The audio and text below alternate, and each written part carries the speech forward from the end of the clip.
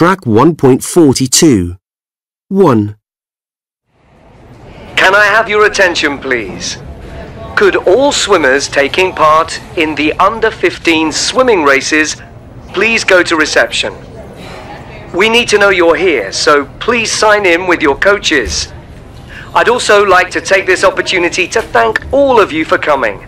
It's going to be a great day. 2. Hello, and thank you for asking me to your school. I'm going to start by telling you how I became interested in film.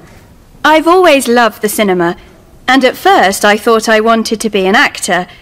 Then I became more interested in what the actors were wearing.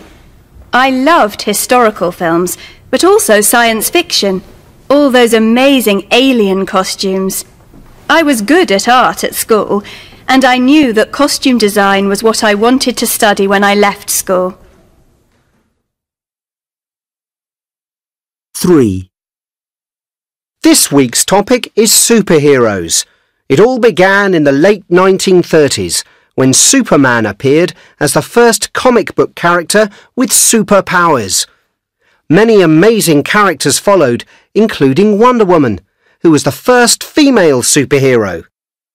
In the 1950s, television arrived, and superheroes became less popular.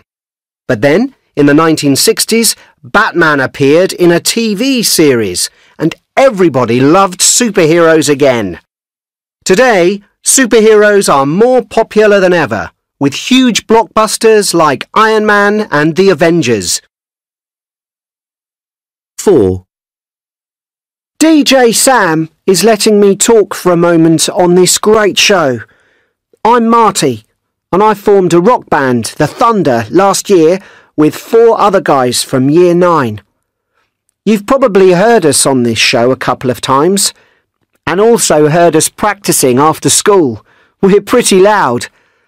Unfortunately, Harley, our drummer, moved to Scotland with his family, so now we're looking for a replacement. Please email me if you play drums and you're interested. DJ Sam will give the address later.